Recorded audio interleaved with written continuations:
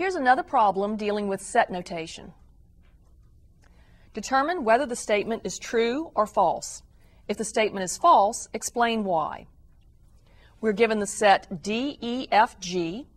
We're being asked to figure out whether the statement is true when this symbol, which stands for is a subset of, is used, saying that it's a subset of the set A, B, C, D, E, F. In order to be a subset, every element that is in the set to the left must be included in the set to the right. What we notice is D does end up being repeated, E is repeated, F is repeated, but we notice that G is in the set to the left and G is not in the set to the right. Because G is not an element of the set A, B, C, D, E, F, we can then state that the statement given is false.